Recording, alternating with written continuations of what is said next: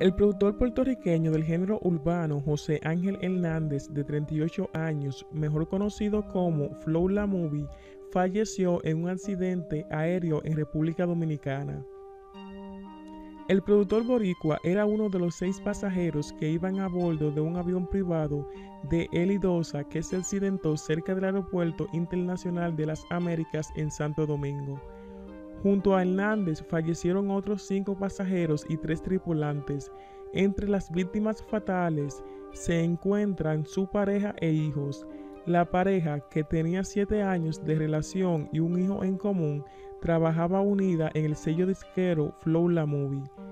La familia se encontraba en la República Dominicana desde hace varios días, de acuerdo a las imágenes de las redes sociales, y se dirigían a la Florida donde residían.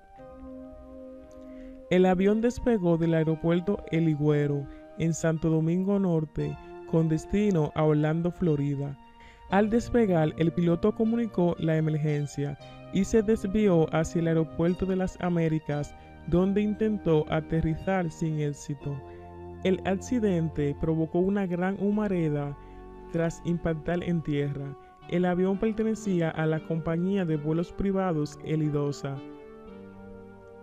El hermano del productor artístico denunció que el jet privado donde se trasladaban los nueve fallecidos no estaba en condiciones de volar.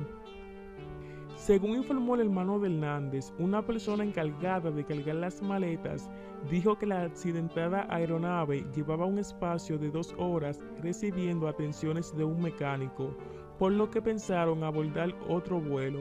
Sin embargo, de acuerdo con lo comunicado por el capitán, el mecánico había comunicado que la aeronave estaba lista para volar.